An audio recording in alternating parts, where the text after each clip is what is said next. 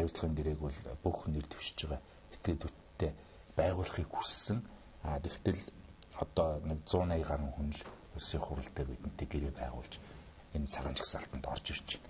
За нөгөө хин гэрээ байгуулаагүй ингээд харахаар нөгөө л офшортонгууд нөгөө л олон жил улсын хурлын гишүүн хийчихсэн нөгөө л сайд дарга хийгээд одоо бүр төгшөрчихсөн тийм ээ.